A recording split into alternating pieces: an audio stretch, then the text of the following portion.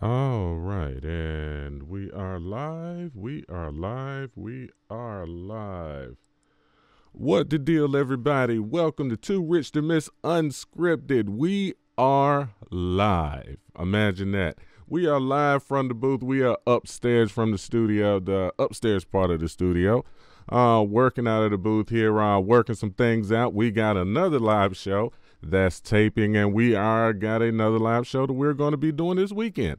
Um, so it's a lot of things happening out here in the wonderful world of crypto. And let me get the appropriate screen up for you guys here.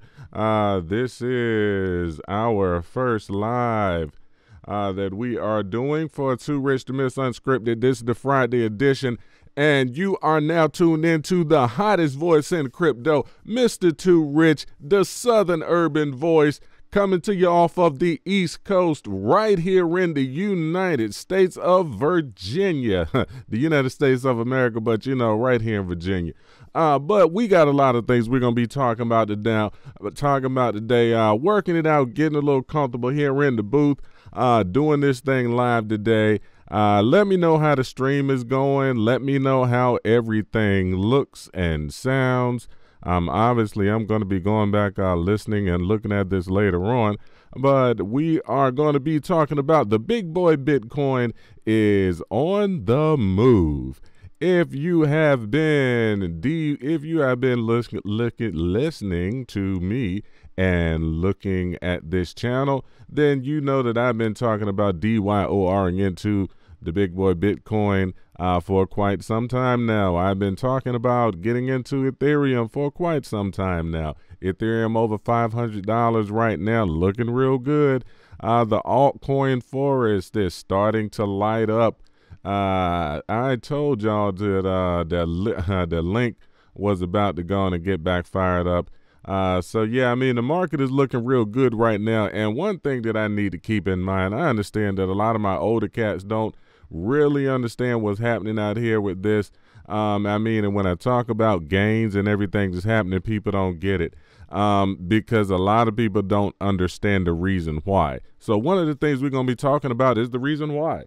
Uh, we're going to be talking about why it's important to get into crypto and uh, some of these other important things as well. But in the meantime and in between time, you know how we get down over here. Let's get past all of that. Let me get the intro and the shout out out the way, and we're going to hop right into it. As you know, the only real color that matters is green. Let's get it.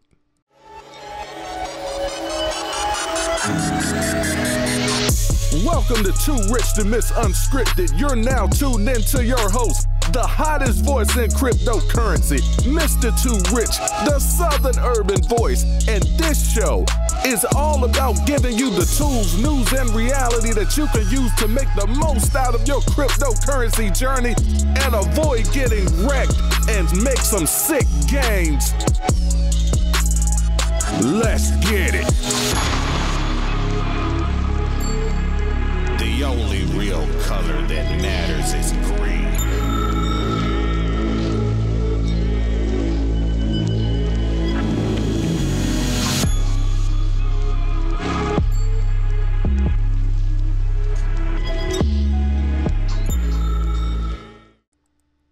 All right, and we are back. And I hope the audio for that came out because I could not hear it here, and I hope it came out over there. Uh, but if it did not, uh, we will definitely go through and work it out on the back end. Uh, working out the kinks here as we are out here live on Too Rich to Miss Unscripted. Uh, come and be sure to follow us on YouTube and be sure to follow us on Instagram as well at Too Rich to Miss. Uh, we have a great and phenomenal episode of the podcast that we got coming out this week. We have a wonderful interview with one of the main and major OGs in the space. Uh, when you're talking about black people and Bitcoin, he is the guy. Um, so we're going to be talking to him on Tuesday. Uh, so uh, this week we're going to be talking about some other interesting and intriguing things and trying to get everybody educated on what to do and why it's important um, to be talking about crypto, other than the fact of uh, making you know making some gains here. So as we can see, as as I was talking about a little bit earlier, the market is doing what it needs to. Bitcoin over eighteen thousand. Uh, you're going to start to hear and uh, hear a lot of people suddenly talking about Bitcoin. Um, everybody is in the green. If you've been listening to me, do you understand that uh, you DCA on the red days and you kind of enjoy the ride on the green days? Uh, but DCA is the way, and if you've been DCAing since I've been talking about it at 10,000 and it's at 18,000, you're doing really good. If you've been looking at and doing and hopping into Ethereum, uh, you've been doing really good.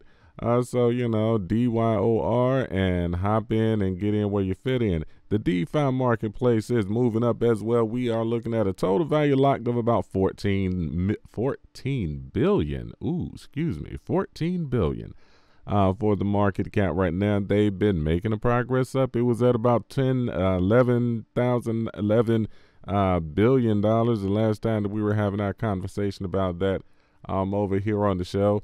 Um, I mean, hey, D Y O R Aave. I've been in Aave for quite some time, and I am comfortable with that. What's been happening with Aave? but as always, do your own research. Let's hop right into the news. Bitcoin resurgence Bitcoin resurgent price sparks new wave of interest from Wall Street. Uh, this is something that's not very surprising at all.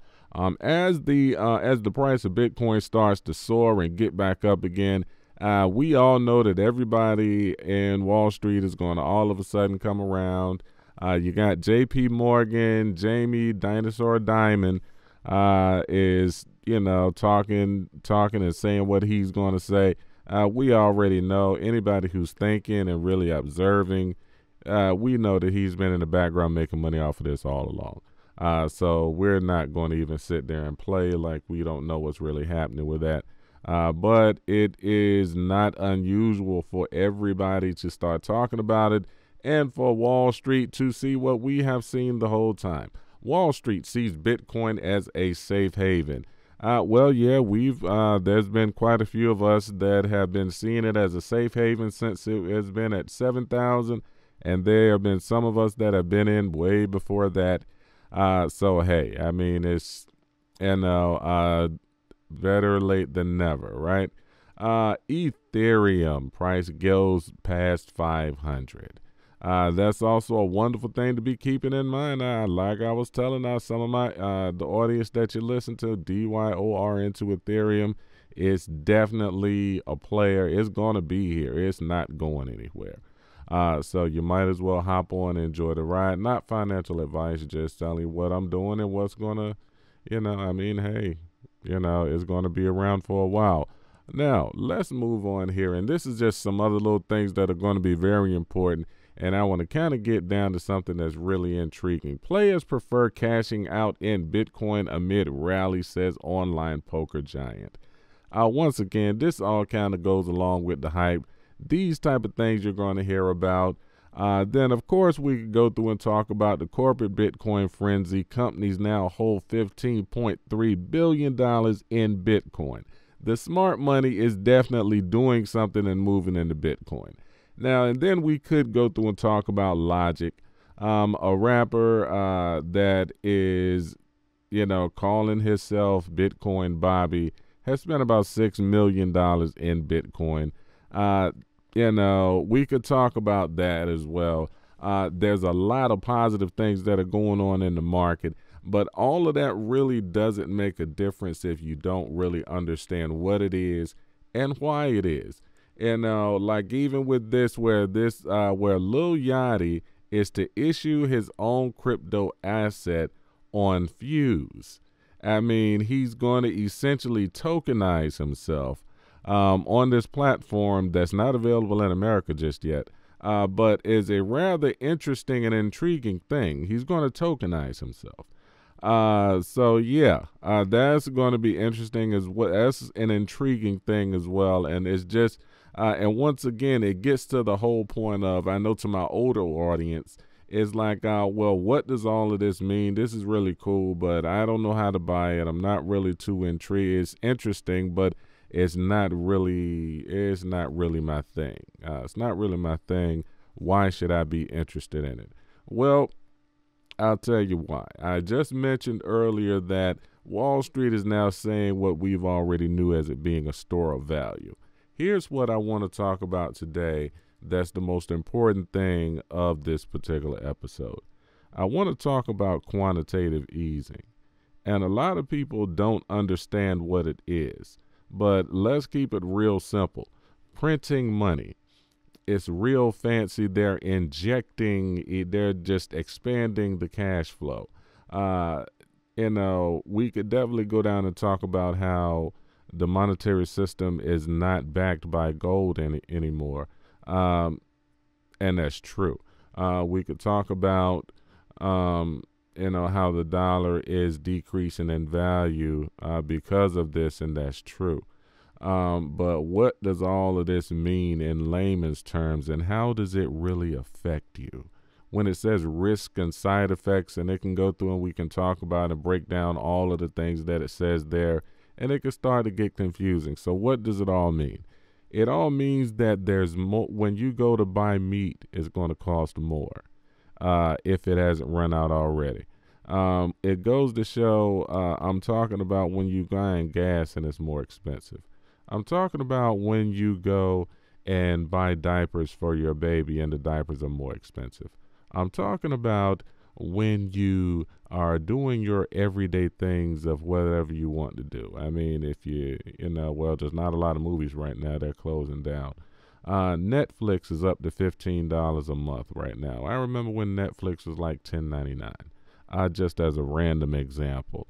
You know, uh, when we talk about quantitative easing and we talk about the side effects of printing money, and we talk about the why of Bitcoin. We mean we say why Bitcoin because it's the thing that holds its value now to so that the dollar that or the fiat that you put into it now is still valuable or more valuable in the future and not less valuable as the dollar is. And of course, we can go through and pull up charts and all type of things uh, to show about the decrease uh, in the value of the dollar. And but a lot of us don't even understand. Uh, so when we say Bitcoin, um, I could definitely go through and go down the rabbit hole and pull out a whole bunch of different charts and things to say why. Um, in the midst of the quantitative easing standpoint of it, and we could talk about you know uh, Bitcoin being deflationary versus you know what we have with our fiat currency and fiat currency all ends up going back to zero and then people will say well yes but the dollar is the uh, the national uh, reserve the preferred reserve currency. This is true uh, and no one really knows which way this is going to all pan out in the future. But what I do know is for us, us regular everyday people we need to have a hedge. We need to hedge our bets and we can't and we need to have balanced portfolios and we need to manage our risks accordingly we need to make sure that we have enough of our funds uh, to be able to do whatever is necessary so whatever happens we're good uh, that's all that this channel is about making sure that no matter what's happening you're good and there and this is an option uh, to make sure that you got another one of those options of being good just in case the bank decides to really go way over the deep end. We don't know what they're going to do or not going to do. We don't know if they're going to try to regulate this to all, you know, to the middle of hell or and try to make it difficult for us to do whatever they do, even though they can't stop it. Uh, but, you know, uh, uh, you know, there's always going to be a way. They can make it difficult, but it'll never stop. But I honestly think they're preparing right now. That's why when I go back and I talk about these articles where uh, corporations now hold $15.3 billion in Bitcoin. Uh, they're buying more Bitcoin than actually is being created right now. There's a supply shock uh, that's going to be happening that retail really hasn't felt just yet. And by the time retail really gets in, uh, people like this are going to have a whole, uh, and people like this, people like me and others are going to be holding the majority of real Bitcoin and everybody else is going to be buying IOUs. Now, one thing that I do want to talk about um, before we go and close this episode out is the Ledger Nano X as a cold storage wallet. And I really want to put this out there for the sake of letting people know one thing not your keys, not your crypto. If you buy crypto anywhere and you are not able to move it to a device such as a Ledger Nano, Nano X, which I actually have, and although the it is small, uh, but type right the typing the lettering is small, but it does the job quite well. Uh, so if you cannot take the Bitcoin or any cryptocurrency that you purchase off of wherever you purchase it from and put it onto your cold storage device, such as what we're seeing here on the screen. You know, um, not your keys, not your crypto. Uh, I'm not saying that what they're doing is wrong or what they're saying. I'm not saying what they're doing is a scam. I'm just saying it's not. You don't control that. And um, and when it comes to money, I like to keep my money in my pocket. Uh, so, with all of that said, this is the first live show that we did. Uh, we are going to go back and see how it went uh, because we are working on some improvements to the studio and we're going to be going live more often with other people as well. So, keep me uh be sure to go through and follow me on too rich to miss on youtube and too rich to miss on instagram and too rich to miss on twitter. All of the articles that are here are already on my instagram page and we on my twitter page. And uh, some will be popping up on instagram as well. So we will catch you on the next episode. Peace